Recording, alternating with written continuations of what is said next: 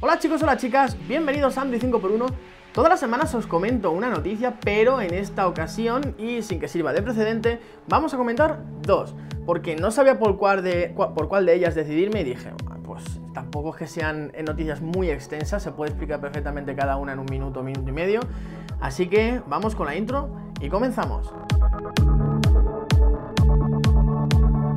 Vamos a comenzar con la más real, con la que ya está confirmada, y es que atención, Samsung fabricará los próximos eh, Snapdragon de Qualcomm. Bueno, realmente el Qualcomm Snapdragon 820 ya se venía rumoreando em, semanas atrás porque em, se ve que Qualcomm tenía o seguía teniendo algún tipo de problema de sobrecalentamiento en, los Snapdragon 820 en pruebas.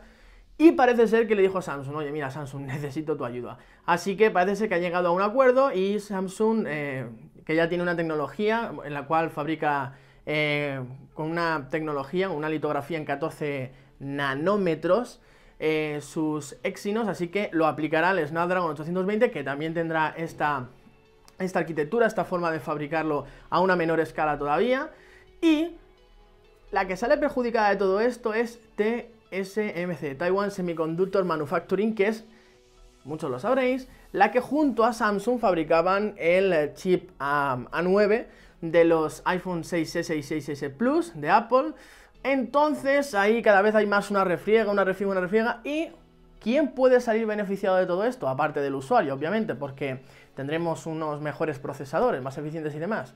Creo, a mi parecer, que la, principal em, beneficiada de, de todo esto es MediaTek que ojo, estaba siendo la gran tapada en 2015, se sacó de la chistera el Helio X10 y el Helio X20 y vienen seguro muy fuertes y van a presentar procesadores potentísimos, eficientes y que muchas marcas, sobre todo chinas, van a querer montar. Así que veremos este 2016 porque eh, parece ser que los próximos eh, chips de Apple los va a fabricar TSMC y los próximos eh, chips de, de los más famosos de gama alta de Qualcomm los va a fabricar Samsung. Así que tenemos ahí una, guerra, un frente abierto y un tercero en discordia que es Mediatek, que ya veremos por dónde sale.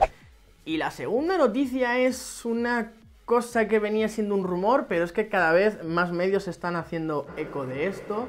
Y es que parece ser que el próximo flagship o gama alta o teléfono súper eh, potente de LG, posiblemente LG G5, si es que finalmente lo acaban llamando así, puede que venga con una modularidad o con una fórmula de, módulos bastante curiosa. No estamos hablando del famoso Project ARA que Google presentó hace dos años y medio, una cosa así, en el cual tú tenías una placa y podías ir aplicando diferentes módulos, RAM, cámara, no. Realmente lo que vamos a tener es un dispositivo unibody, como ya siempre se venía pidiéndole a LG, que era la única que no lo hacía.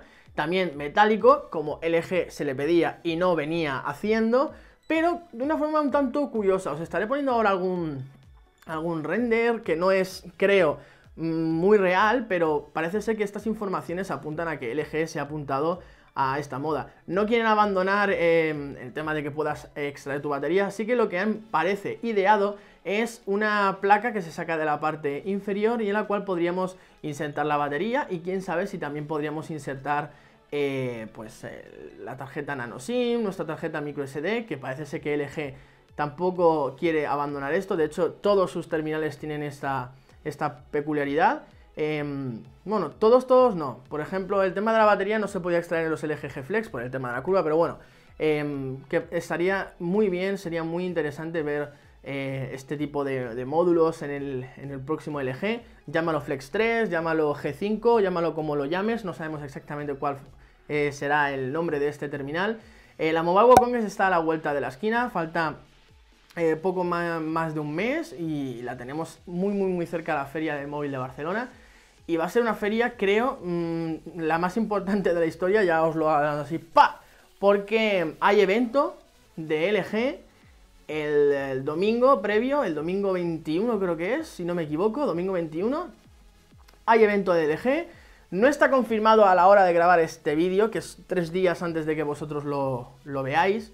Eh, evento de HTC o evento de Samsung, pero el de Samsung probablemente sí que se haga porque los unpack siempre se hacen el día antes. Así que si acaban poniendo también el, evento de Samsung domingo, pues tendremos un problema en Android 5x1, porque seremos dos personas, pero tenemos que grabar juntos y claro, si hacen eventos el domingo como locos, pues no vamos a poder abasto.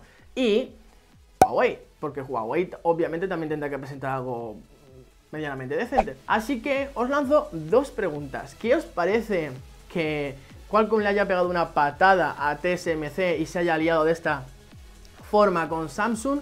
¿Y qué esperáis del nuevo o del próximo gama alta de LG, del futurible LG G5? ¿Esperáis algo en especial? Dejádmelo en los comentarios y os veo en próximos vídeos aquí, en Android 5x1, porque soy geek de gafas y prometo hacerlo.